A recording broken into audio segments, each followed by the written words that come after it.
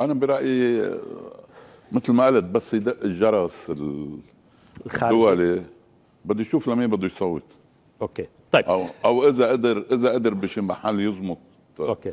شي بشي مرشح من بس أنا برأيي بيجي الأمر بينفذ سمير جعجع؟ هذا كله حكي من جرايد مين بده يجي الأمر؟ من مين بده يجي الأمر؟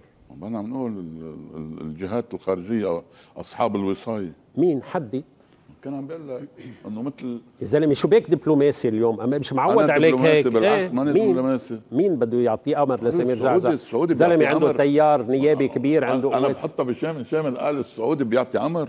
بده يعطي السعودي أمر لسمير جعجع لأنه عنه. يصوت غصبا عنه. طيب. في عندنا لك؟ مين قال لك إياها إيه. بالتلي دبلوماسي. أنا دبلوماسي بدك اياه اليوم. أوكي. الليلة اللي بدك اياه في في شيء بنقوله نحن بالجيش كيدون اردون آه، الذي يعطي يأمر. طيب آه لا تنسوا أعزائي المشاهدين التصويت على سؤالنا على صفحة الجديد نيوز أيضا.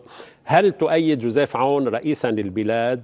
وفي آخر الحلقة سنذيع النتائج. ماذا يقول جوزيف عون عن جوع الجيش؟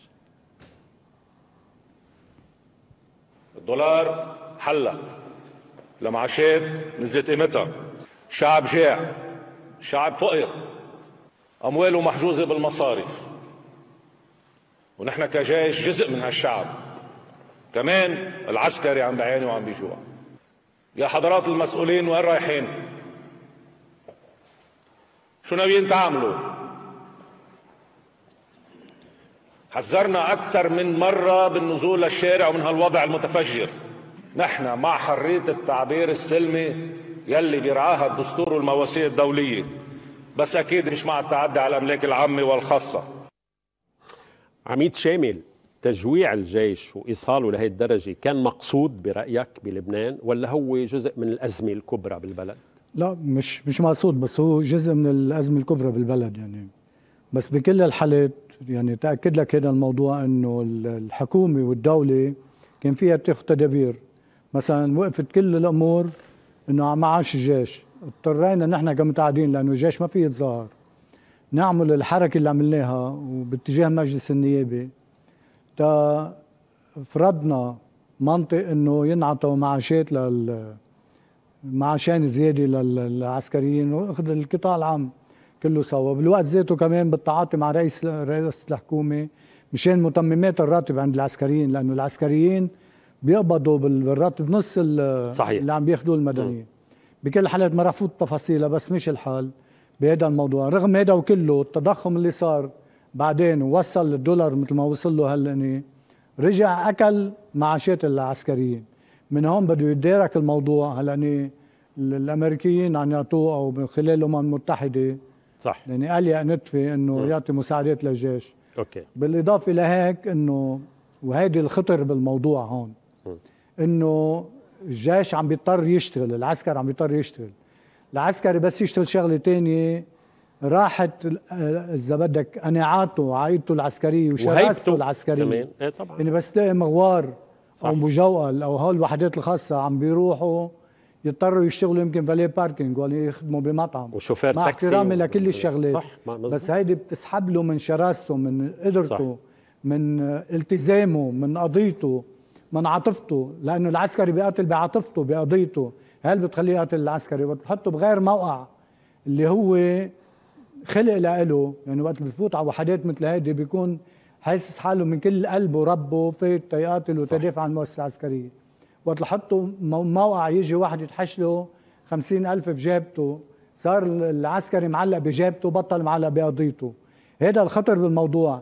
هذه الدولة لازم تعرف كيف تتعامل مع الجيش ومع المؤسسات تقدر تحافظ على حالها بالمستقبل لأنه بعد صح. في هالمؤسسة هي صح ومن هون بتوجه للي بيعتبروا حالهم مسؤولين هلأ إنه بدكم تنتبهوا للجيش بدكم تنتبهوا للمؤسسات العسكرية لأنه بعدها الضمان الوحيده لمستقبل البلد ما هو مشان هيك مشان هيك بس عميد اسمح لي إيه، بهالكلمة.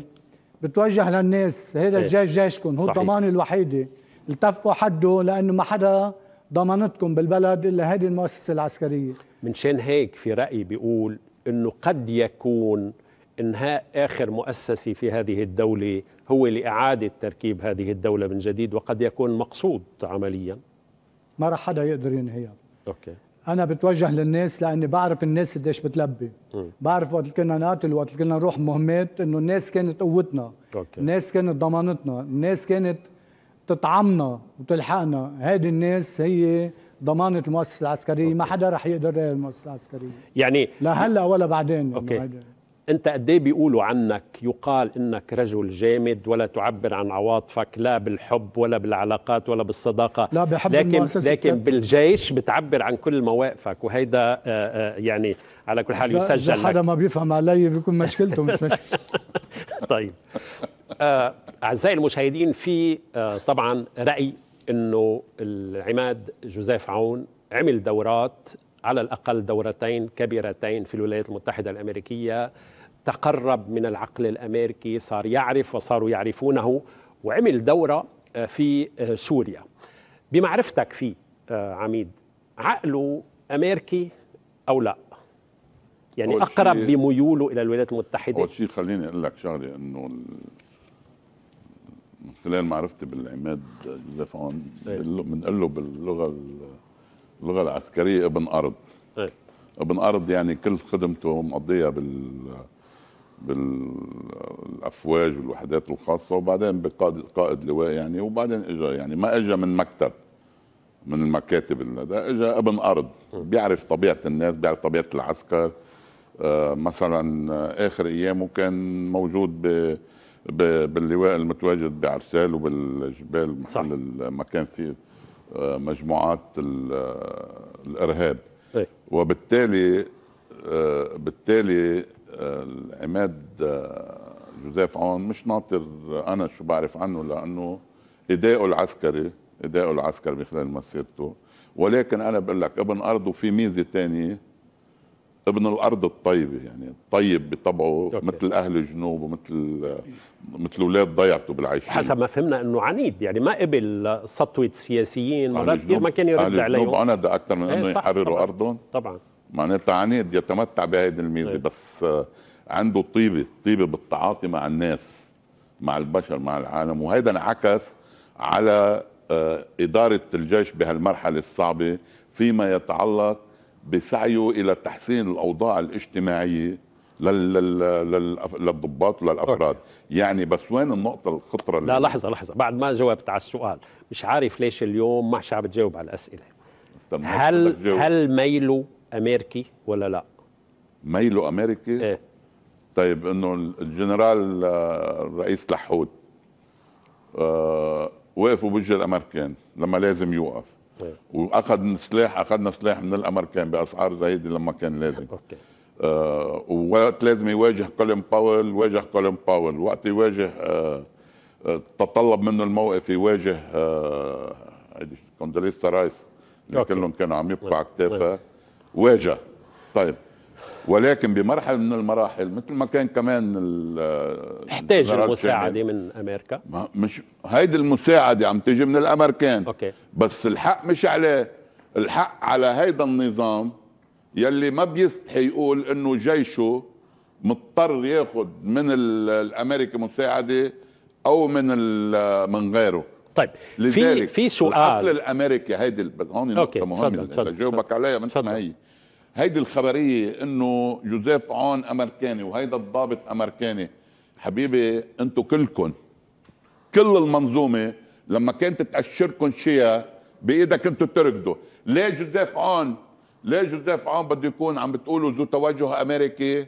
ومثلا مثلا العلاقة بين آه، الرئيس بري كونه رئيس مجلس مع الأمريكان منه علاقة منه توجه أمريكي. ليه ليه ليه رئيس الحكومة اللبنانية نجيب ميقاتي أو غيره كان عنده علاقات مع الأمريكان ما عم تقولوا عنه توجه أمريكي أوكي. ليه ترسيم الحدود اللي صار برعاية امريكيه برعاية أمريكية آه شو كمان آه يونيفيل هيك على المشي. كيف كيف مرق بلبنان بيكون مين توجه أمريكي